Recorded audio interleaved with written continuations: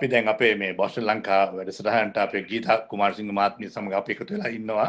ඇත්ත වශයෙන්ම ගීතා කුමාරසිංහ මහත්මිය අපි කවුරුත් දන්න ආදරය කරන නීලියක්. නමුත් අද මේ වනට එතුමිය හිටු මන්ත්‍රීතුමියක් හැටියට අපි නැවතත් මේ මැතිවරණට ඉදිරිපත් වෙලා තියෙනවා බෙන්තර ඇල්පිටිය ප්‍රදේශයෙන්. ඉතින් අ බොහොම ආදරයෙන් පිළිගන්නවා මේ ගීත කුමාරසිංහ මහත්මිය මේ අයිබෝවන් අයිබෝවන් අපිට මුලින්ම කියන්න කොහොමද මේ දිනවල ඔබගේ මැතිවරණ කටයුතු හොඳින් කරගෙන යනවද? ඔබතුමා මම අඳුන්වා දුන්නා මේ රංගන ශිල්පිනියක් සිනමා නිලියක් කියලා. ඇත්තටම මං අවුරුදු 10ක් වෙනවා රංගපෑමෙන් ඉවත් වෙලා අවුරුදු 10ක්ම කරේ දේශපාලනය. ඇත්තට ඒක මං ගොඩාක් ආසාවෙන් උවමනාවෙන් මේක මගෙන් කරෙන්න ඕන යුතුකමක් ගාල්ල දිස්ත්‍රික්කයට. ගාල්ල දිස්ත්‍රික්කය තමයි මම නියෝජනය කරන්නේ. ගාල දිස්ත්‍රික්කයෙන් තමයි ඡන්දය ඉල්ලන්නේ. මේ දවස්වල ඊටාම කාර්ය බහුලයි. අර ඡන්දය ආවට පස්සේ තමයි තේරෙන්නේ කොච්චර වැඩ කළා තිබ්බත් කොච්චර ජීවිතේ දේවල් කැප කළා තිබ්බත් ඡන්දේ කාලෙට යන්නේ වෙනම දෙයක්. ඡන්ද කාලෙදි මේක නිකන් ව්‍යාපාරයක් වෙනවා. අර මොන හරි විකුණන්න හදන සේල්ස් පොයින්ට් එකක් වගේ හරියට. ඒක හැම එක්කෙනාම වෙන වෙන විදිහේ මිනිසුන්වගේ මතය වෙනස් කරන්න බොරු කියන්න ඒ වගේ දේවල් ඉතින් හරි හරි කම්පිටිෂන්. කොට අර අපි කොච්චර දේවල් කරලා තිබ්බත් ඒ විදිහට තමයි යන්නේ. ඔව් දැන් එතකොට මේක හරි නිකන් කුල්ලල් කෑමක් වගේ. හරියට අරයා මිනිසුන් චරිත ඝාතනය කරමින් බොරු කියමින් මිනිසුන්ගේ මතේ සම්පූර්ණ වෙනස් කරන්න ලොකු උත්සාහයක් දරනවා. මට හිතාගන්න බෑ මිනිස්සු කොහොමද මේ මේක එක්කෙනා කියන කතන්දර ඔස්සේ ඡන්ද වැඩ කරන්න කියලා. ඒක නිසා තමයි හුඟක් හුඟක් කාර්ය බහුලයි. හුඟක් දවස්වල පාන්දර එක දෙක වෙනකල් ඇහැරලා ඉන්නවා. එහෙම තමයි මේ දවස්වල ගෙවෙන්නේ මේ මගේ ගමේ ගෙදර මම මෙහෙ ගයක් හදාගෙන මේ ගමට ඇවිල්ලා ඉන්නවා. නැත්නම් මම සාමාන්‍ය ජීවත් වුණේ කොළඹ. කොළඹ ගෙවල් වහලා දාලා දැන් ඉන්නේ ගොඩක් මෙහි තමයි. මේ මගේ දෙමව්පියන්ගේ ගම ඒගොල්ලොන් දීපු ඉඩමක තමයි මේකේ හදලා තියෙන්නේ. මං ගොක් ගක් මහන්සි වෙච්ච එක්කෙනෙක් අවුරුදු 10ක් තිස්සේ මගේ ජීවිතේ මම හිතන්නේ අවුරුදු 10 මම කලා ලෝකේ ඒවට යොදවලා තිබ්බන මීට වඩා වෙනස් වෙයි කියලා මට හිතෙනවා. දැන් දැන් ඔබතුමිය මේ දකුණු ප්‍රදේශයේ මේ මම දන්න තරමින් ඔබතුමිය තමයි පොදු ජන පෙරමුණෙන් කාන්තාවක් වශයෙන් මේ කණ්ඩායමේ ඉන්නේ. ඉතින් මම හිතන එක ලොකු වක්කීමක් කියලා. ඒකනේ යමක් කියනවනම් දැන් මෙහෙමයි ගාල්ල දිස්ත්‍රික්කයේ විතරක් නෙමෙයි හමාතර හම්බන්තොට වගේ මුළු දකුණු පළාතටම එකම කාන්තා නියෝජනයේ හැටියට තමයි මම ඉන්නේ. එහෙම ඉන්න අතර දැන් මේ ගාල්ල දිස්ත්‍රික්කයේ බැලුවහම මම හිතන්නේ වසර 72ක් වගේ අතීතයට ගියත් කාන්තාවක් කවදාවත් ගාල්ලෙන් ඇවිල්ලත් නැහැ. ඡන්ද වැඩ කරලත් නැහැ. මිනිසුන්ටත් ඒක නොපුහුරුදුයි. පුරුදු නෑ වගේ කාන්තාවකට එන්න දෙන්නේ නැහැ ඇත්තටම. පුදුම අභියෝගයක් තියෙන්නේ. ඇත්තට මේ දේශපාලනය තුලින් තමයි හොඳටම දැනගන්න පුළුවන් කාන්තාවකට තියෙන තැන ගැන. මිනිස්සු හිතන්නේ ගැහැණියෙක් වුණාම ගේ ඇතුළට වෙලා මිනිස්සු නෙවෙයි ඒක මේ අපිත් එක්ක අපේ අපිත් එක්ක තරඟ කරන කට්ටිය. අනිත් එක ඒගොල්ලෝ හිතන්නේ මම නිකම්ම නිකන් සිනමා නිලියක් කියලා. ඔබතුමාටත් මං කියන්න කැමති මම නිලියක් හැටියට මගේ ජීවිතය ආරම්භ කරා. මං ඒක සාර්ථකත්වය දැක්කා. සාර්ථකත්වයට ගියා. හැම සම්මානයක්ම ලැබුවා. හැබැයි මම ව්‍යාපාරිකාවක් හැටියට මම එංගලන්තයට ගිහිලා ව්‍යාපාරික කළමනාකරණය ගැන ඉගෙනගෙන ඇවිල්ලා ෆැක්ටරි විශාල ගානක ඇඟලුම් කර්මාසයට ක්‍රියාකාරී අධ්‍යක්ෂකවරිය හැටියට අවුරුදු 20ක් වැඩ කරලා තියෙනවා. ඉතින් මට ගොඩක් අත්දැකින් තියෙන කෙනෙක් ජීවිතේ ගොඩක් අත්දැකින් තියෙන කෙනෙක් පරිපාලනය ගැන හොඳ හැටි දන්න කෙනෙක්.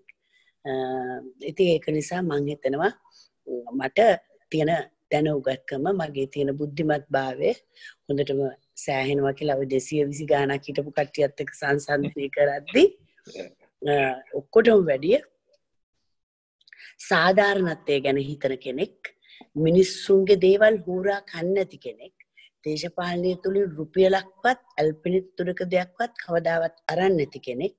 මම විශ්වාස කරන්නේ දේශපාලනය කියන පරිත්‍යාගය.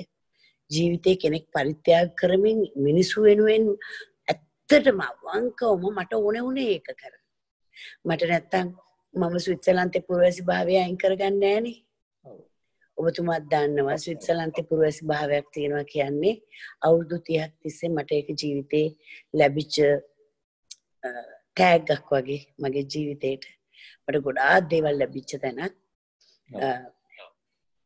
මට කොහොමත් මට සල්ලිවලට ආස කෙනෙක් නං මට අර කෝටි ගානක දේපලක් එහෙ තියෙද්දී සියල්ල අතහැරලා දාලා මිනිස්සු වෙනුවෙන් මම මෙහෙම ආවි ඡන්දයකට මට මේ ඉදිරි අවුරුදු පහ තුල ගොඩාක් දේවල් ගාල්ල දිස්ත්‍රික්කයට කරන්න තියෙනවා.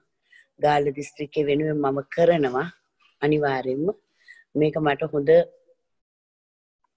හොඳම හොඳ වෙලාවක් මං හිතන්නේ මිනිස්සු පිළි අරගනි. ඒගොල්ලෝ දන්නවා මං අවුරුදු 10ක් තුල දේශපාලනය තුල ගොඩාක් නියැලෙලා ඉඳින් ගොඩාක් දේවල් කරා කියලා. මම මම දැනගන්න ලැබුණා මේ ඔබතුමිය මේ පසු කෙන ම දන්න ඔබතුම බොහොම කෙටි කාලයක්නේ මේ පාර්ලිමේන්තු මන්ත්‍රවරැක හැටින්න ලැබුණවත් ඒ කාලය තුළ වුණත් ඔබතුමිය මේ වතුර ප්‍රශ්නයක් ජන ප්‍රදේශය තිබිච්ච ජනතාවගේ වතුර ප්‍රශ්නයක් විසඳුවය කියලා. ඒවගේම ඒ ගැනත් පොඩ යමක් කියන අතරම මොකක්ද ඔබ ඇත්තමයි බෙන්තර ප්‍රදේශයේ මිනිසුන්ට පානී ජල් ප්‍රශ්නයක් තිබ්බ ලොකුවට. මහිතන ඔක්කොම පාරිභෝගිකයින් දාහත් දහක් වගේ හිටිය. ඒගොලු හැමදාම බිව්වේ ලුණු වතුර. ඒ අයට ඒවත් ජල ප්‍රශ්නය විසඳා දීමට මට පුළුවන් වුණා. මට ඉන්න හම්බුනේ පාර්ලිමේන්තුවේ බොහොම ටික කාලයයි. මට දිත්ත පුරවැසි භාවය තියෙනවා කියලා මට නඩු දාලා මගේ මන්ත්‍රීකම උදුරා ගත්තා. මං ඒ ගැන දුක් වෙන්නේ. තවත් දිත්ත පුරවැසි භාවවල් තියෙන අය පාර්ලිමේන්තුවේ අනන්තවත් ඉන්නවා. මං හොඳටම දන්නවා. හුඟක් අයි දිත්ත කරලා නෑ. ඒගොල්ලෝ ඒ රටේ පුරවැසි භාවයයි මේකයි දෙකම තියාගෙන ඉන්නවා. මට තව ටික කාලයක් මම ඉවසගෙන හිටියා. ඒ අතර අපිට මෛත්‍රීපාල මහතාත් රනිල් මහතාත්ගේ ආණ්ඩුව පුළුවන් තරම් උත්සාහ කරා අපිවත් ඒ මාවත් පැත්තට ගන්න. මට පැහැදිලිවම කිව්වා ඒ නඩුව ප්‍රශ්න විසඳලා දෙන්නම් ඇමතිකමකුත් දෙන්නම් ඔබතුමිය අපි ගාවට එන්න කියලා. නමුත් මං එහෙම කරේ නෑ. මට එහෙම කරන්න උවමනාවක් නෑ. මම හැමදාම හිටියා මෙතන. ඒ වගේම ශ්‍රී ලංකා පොදු ජන පෙරමුණේ අද අපේක්ෂිකාවක් හැටියට මං ඇවිත් තියෙන්නේ අවංකම හිතින්. එහෙම පැනලා යන්න තමන් ඡන්දයක් අරගෙන ආවහම මිනිස්සුන්ගේ ඡන්දෙන්නේ අපි එන්නේ.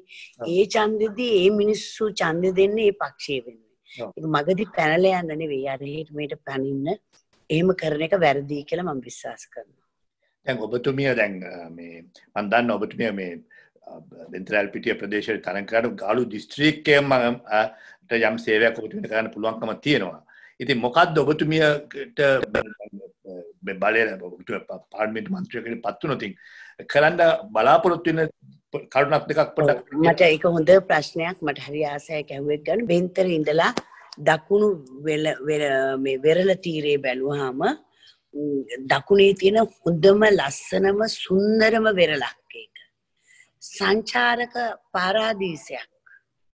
සංචාරකින් වඩාත් මේකෝ ෆ්‍රෙන්ඩලි ටුවරිසම් ගක් දියුණු කරන්න පුළුවන් එකක් මේ ගාල්ල දිස්ත්‍රික්කේ ගැන කවුරුත් හොඳට කල්පනා කරලා නෑ සිංහරාජ වනාන්තරේ එක පැත්තකින් මුහුදු තීරේ ඇතුළත තියෙන දියඇලි අතිශීම සුන්දරයි මේ සියලු දේ කැටි කරගත්ගෙන අපේ මේ ගාල්ල දිස්ත්‍රික්කයේ දකුණු පළාතට මේ සංචාරක ව්‍යාපෘතිය මං හිතන්නේ ඉහළටම ගේන්න පුළුවන් තැනක්. මං ඒ ගැන විශේෂයෙන්ම කටයුතු කරන්න සූදානම. තව එකක් කල්පනා කරලා තියෙන්නේ මගේ මේ රටේ අප දැන් ඔබතුමා ඇමරිකාවින් ඔබ දන්නවා මේකට සාක්ෂි කියාවි. මේ රටේ අධ්‍යාපනයේ දරුවන්ගේ අධ්‍යාපනය. කැන මූලික අධ්‍යාපනයේ ෆෞන්ඩේෂන් එක. එහෙම නැත්තං අත්තිවාරම තමයි පූර්ව ළමාවිය සංවර්ධන අපි මොන්ට සෝරි කියනවා. ඒකෙදී අපේ රටේ විදිමත් ක්‍රමවේදයක් ඒ සඳහා ඇත්තේම නෑ දරුවෙකුගේ අවුරුදු හය වෙනකොට දරුවෙකුගේ ජීවිතයේ මානසික තත්ත්වය ඔහු කොතෙන්ටද ගමන් කරන්න කියන එක සිද්ධ වෙලා ඉවරයි. ගුරුවරියන්ට හරියාකාර පුහුණුවක් ලබා දිය යුතුයි. ඒ මූලික අධ්‍යාපන ක්‍රමයේ වැරද්දක් වුණාම අද මුළු මහත් සමාජයේම කඩාවැටෙන තත්යකට ඇවිල්ලා බලන්න තරුණ පරපුර කොහෙටද ගමන් කරන්න කියලා. මත්ද්‍රව්‍ය වලින් මේ රට විනාශ වෙනවා එක පැත්තකින්. මද්‍රව්‍යකාරීන් බොහෝ දේශපාලකනීත් එක සම්බන්ධකාත් තියෙනවා. එතකොට එවැනි දේවල් නිසා තමයි මේ සමාජ මේ තරම් පිරිහිලා තියෙන්නේ මම උත්සාහ කරනවා අතිගරු ගෝඨාභය රාජපක්ෂ මැතිතුමාට පූර්ණ සහයෝගය දෙමින් ශක්තියක් වෙමින් මේ රටේ මද්‍රව්‍ය නිවාරණය සඳහා උපරිම කැපවීමෙන් වැඩ කරන්නට. ඒක මගේ යුතුයකමක් මම අම්මා කෙනෙක් මේ රටේ සියලු දරුවන්ගේ මව්වරුන්ගේ ප්‍රාර්ථනය ඒ බව මම දන්නවා. අන්න ඒක කරන්න මම සූදානම්. මේ වගේම අර මොන්ටසෝරි දරුවන්ට නිසි අධ්‍යාපනයක් ලබා දෙන්න. ප්‍රමිතියකින් තොරව කරන සියලුම දේවල් සඳහා නිසි පුහුණුවක් ලත් ගුරුවරුන්ගෙන් ඒ වගේ මේ ගුරුවරුන්ට කිසි සැලකිල්ලක් නැහැ. ඌට සාධාරණ වැටුපක් නැහැ. උන් රජයේ සේවකයෝ හැටියට ගණන් ගන්න. ඒ කටයුත්ත ඉදිරියට කරගෙන යන්න. ඒ වගේම රැකියා විරහිතභාවයෙන් මේ ගාල්ල දිස්ත්‍රික්කයේ බොහෝ දරුවෝ පෙළෙනවා.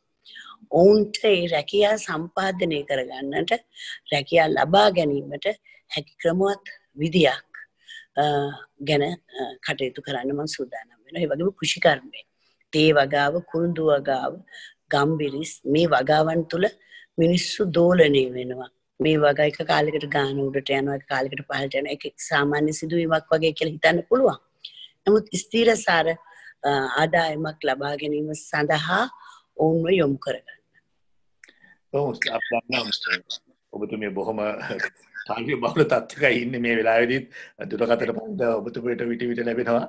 ඉතින් අපි දන්න අපිට කුල කාලය නැතිවිත්‍ය අපි දන්න ඉතින් අපි සුභපතන ඔබතුමියට මේ මම හිතනවා ගල් දිස්ත්‍රික්කේ ඇමතිවරියක් වශයෙන් ඔබතුමියට පත්වමක් ලැබේ කියලා වේ ඔබතුම ජයග්‍රහණය කරොත් රජයක් පිහිට උතින් මහිතන ඒ සඳහා අවශ්‍ය හැම සූසුකම ඔබතුමිට තියෙනවා අනිවාරෙන්ම ඔබතුමාට බොහේවිම ස්තුතිවන්තයනවා මේ මේ වගේ අපි සාකච්ඡාවක් කරලා. මගේ හදවතේ මගේ හිතේ තියෙන දේවල් මේ ජනතාවට කියවන්න අවස්ථාවක් ලබාදීම ගැන. ස්තුති අපි නැතවාරයක් ඔබතුමත් සැක සම සම්බන්ධයමු මේ දිග සාකච්ඡාවකට අපට කරන්න පුළුවන් අවස්ථාවකදී. ඉතින් එනම් අපි ඔබතුමට මේ අයිබෝන් බෝම ස්තුතිය ඔබතුමාට ගොඩාක්ම ස්තුතියි